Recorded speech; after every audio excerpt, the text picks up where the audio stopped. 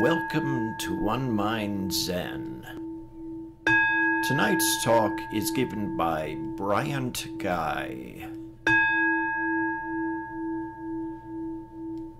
Tonight I was challenged to give a talk on something technical and complicated. And it was suggested a topic of that nature would be the five skandhas and how the Buddha thought they led to no self. So first we need to define a term. What's a skandha? Well, that's a term used in Sanskrit that means aggregate or heap or combination. And the Buddha, 2,500 years ago, when he was sitting under the tree trying to figure out the problem of suffering, why do we suffer, uh, started turning the light of attention inward towards the person himself. Um, I don't know how much uh, speculation had been done or investigation about persons up to that point, but he really dug deep into what it is that a person is. Uh, and so one of the models that he came up with is this five aggregate model. Um, the five aggregates, as he defined them, are form, which is all the material aspects of the body, but also uh, all the material aspects of life. The second is feeling, which is not happy or sad. It's a more basic feeling.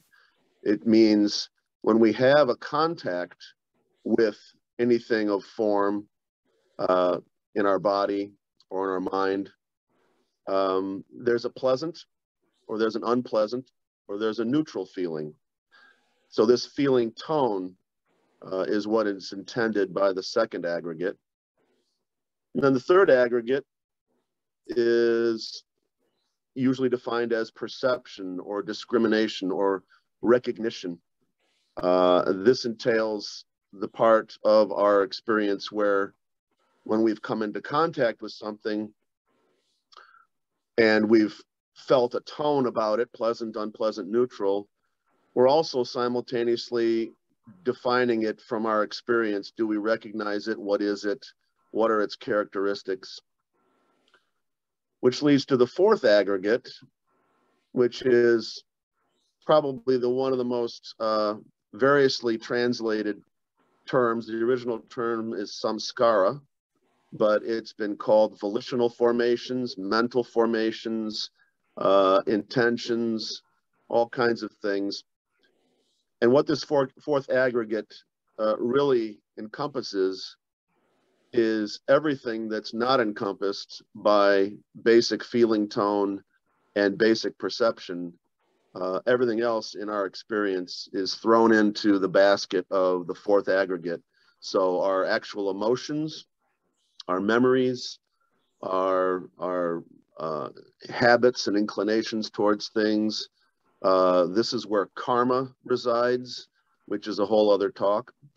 Um, and so it's in the original Buddhist psychology called the Abhidharma, uh, there's over 50 different aspects of the self that they throw into this fourth aggregate, uh, all of which uh, lead to our experience of being a self.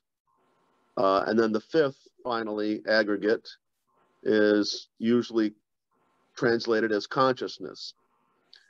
And so the Buddha sitting under the tree um, you know, had a big realization about the way things are.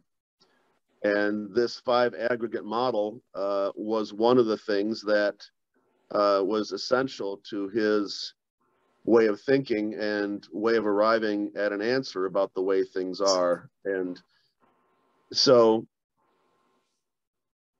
when he decided to get out from under the tree and actually try and teach what he had realized, uh, his first talk ever, called Turning the Wheel of the Dharma, is where he got back together with his five ascetic pals that he had been doing asceticism with previously.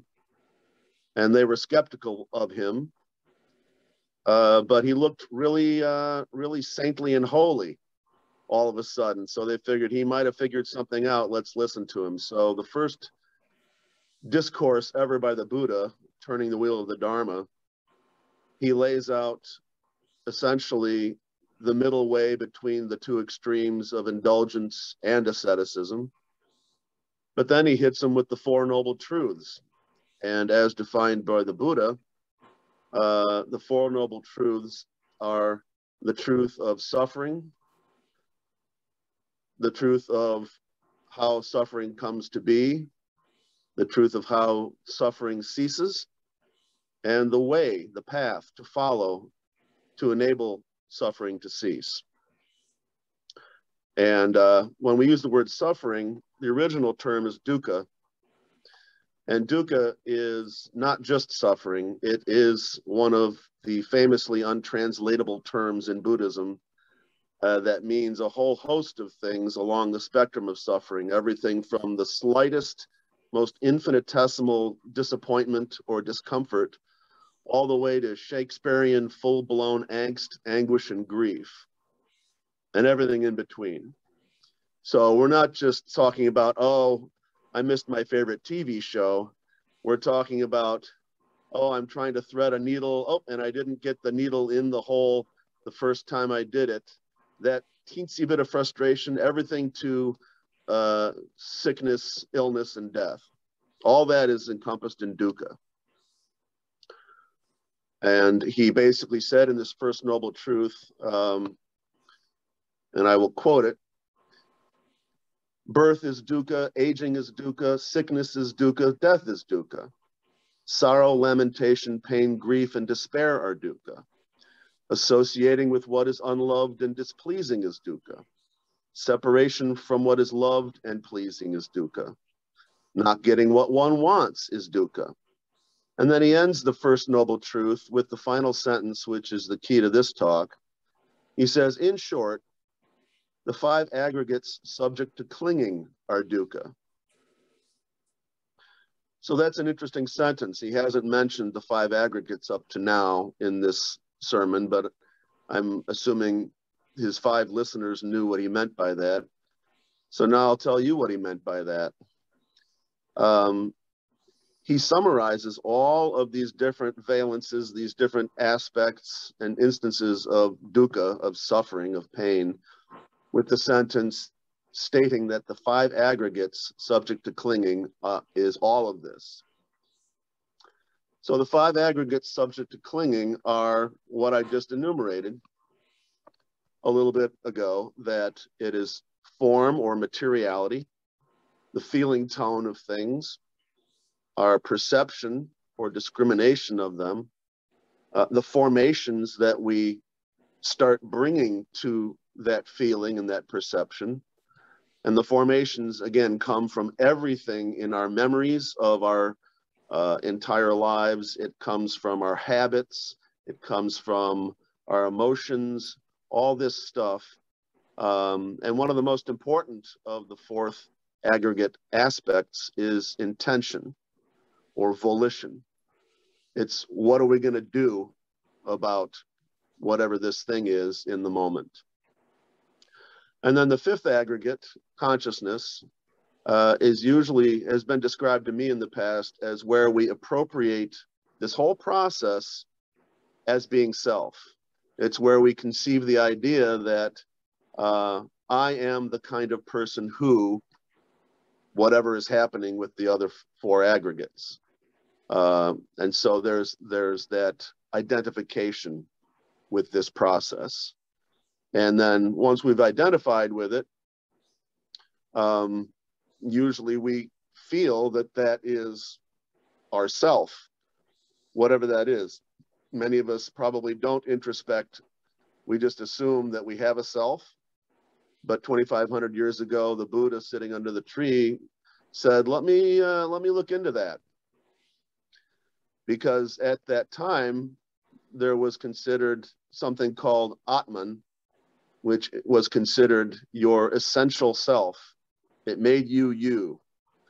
And the, one of the Buddha's chief innovations, and probably why we have Buddhism today, uh, his thing that set him apart, was he said to society at the time, which was all Brahmanism, uh, he said, No, I haven't found this Atman anywhere.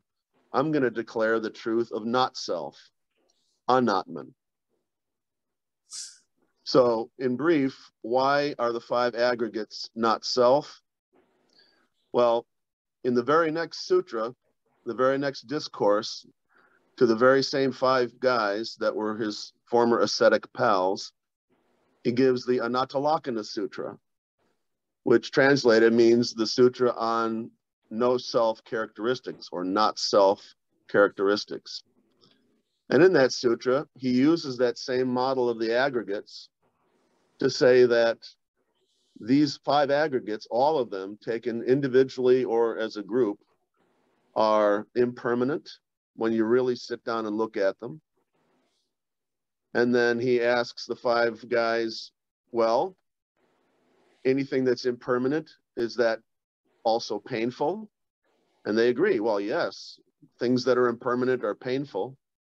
And then he asks, is anything that's impermanent and painful, could that be worthy of considering being a self? And they say, no, venerable sir, it is not worthy of being considered a self. And so then he sums up by saying, so therefore, any kind of form, feeling, perception, formation, and consciousness, whatever, uh, must, with right understanding how it is, be regarded thus this is not mine, this is not I, this is not myself. So this might not might be considered his first meditation instruction uh, to his new sangha of the five ascetic guys. Um, and later, 200 years, a thousand years, um, a guy came along named Nagarjuna who started a whole other wheel in motion, which was an expansion of the not self idea of Buddha, which was the not self in our persons.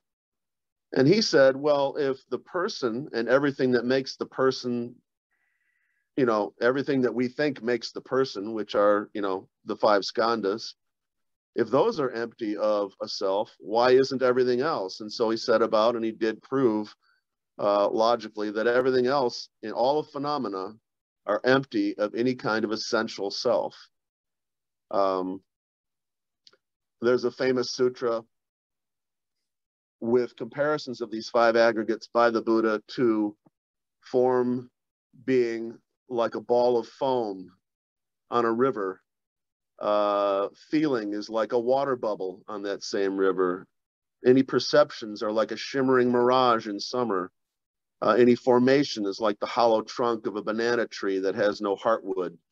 Uh, any cognition is like a, a magical illusion of a magician.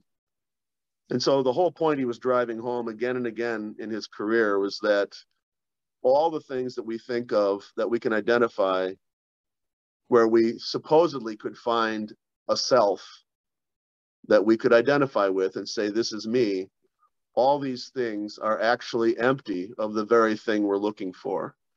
Uh, and that was pretty much the main body of his um, teaching throughout the rest of his 45 years uh, in that area of the world.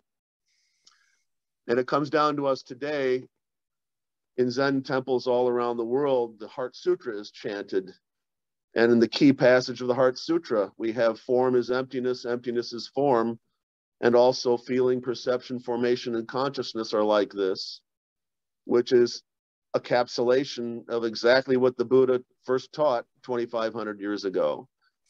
So um, there you have it, folks.